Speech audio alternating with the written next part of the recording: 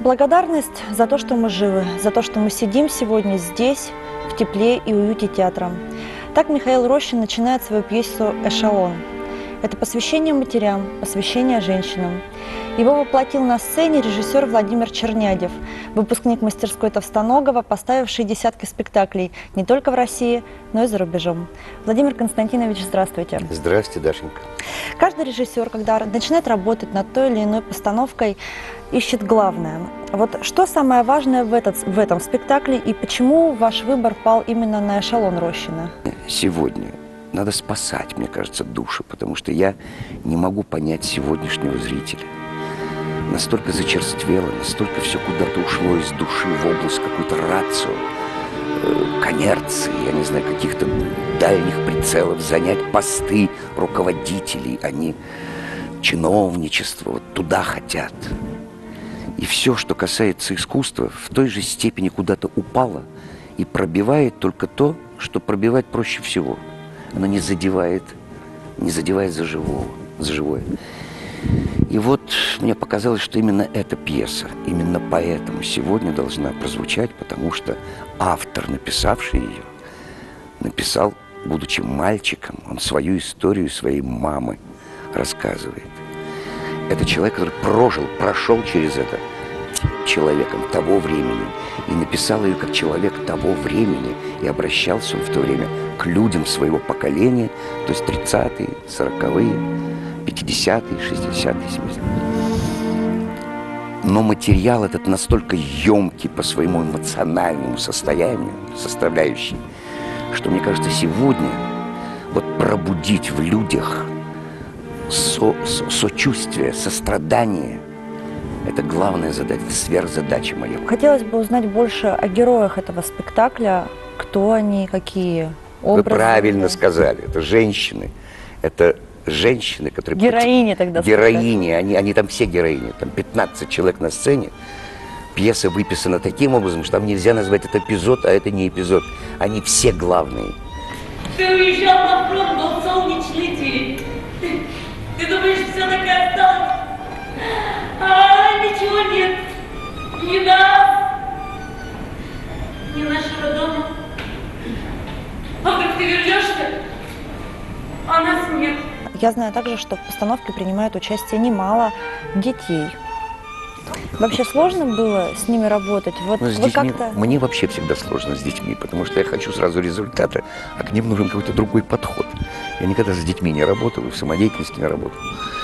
А, но они, я им ничего не рассказывал, в общем-то, о пьесе. Но они все время на репетициях, они слышат. И они потихоньку-потихоньку начинают адекватно существовать. Волей-неволей их затягивает сюжет, потому что они, они понимают, про что играть. Ну, то есть они понимали, что конечно. это Великая Отечественная война? Сразу нет. Но постепенно с репетициями. Ну, я, конечно, рассказывал им какие-то элементарные вещи, которые, может быть, даже и не доходили до них. Ну, что я буду рассказывать про Великую Отечественную войну мальчику в 6 лет? Если он увидел в самолете, там, в реквизите, он тянется к самолетику и хочет бегать и летать. Он я так и сделал. Он и бегает, и летает, и, и воздушную тревогу везде орет. Да, но постепенно-постепенно они стали тоже ансамблем каким-то и достаточно убедительно работают. Литературных, музыкальных и кинопроизведений о Великой Отечественной войне множество, и после прочтения или просмотра остаются абсолютно разные чувства.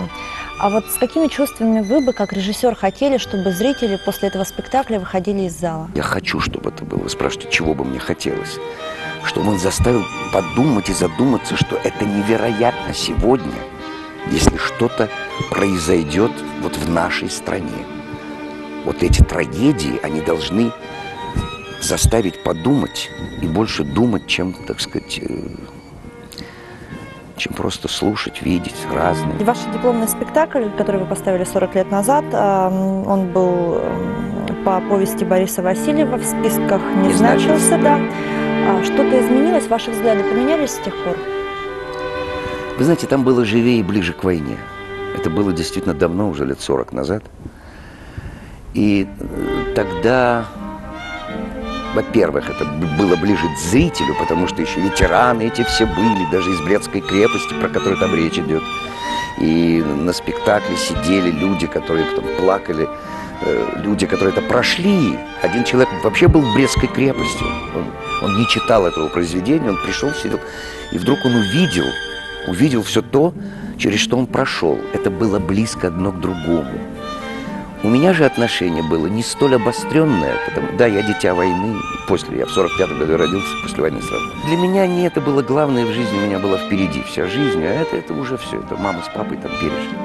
Сегодня, как это ни странно, уже как далеко я от той войны, я ощущаю ее, как вы говорите, через прочитанное, увиденное, осмысленное, гораздо острее. А, наверное, нет э, в России, пожалуй, ни одной семьи, которую не коснулась та Великая Отечественная О, да, война. это- И расскажите, может быть, а, историю, кто из ваших родственников воевал? Ну, вот сейчас будет смешно уже, парадоксально.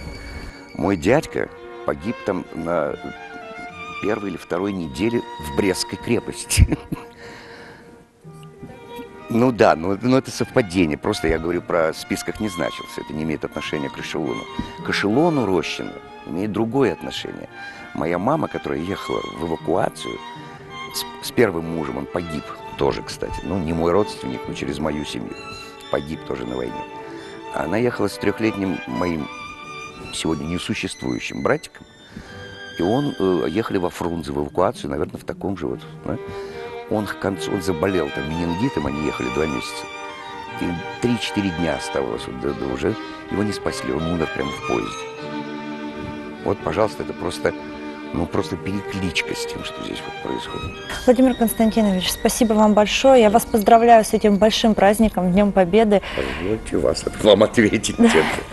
Всем. Спасибо. всем большое. нашим зрителям и всем людям моей страны.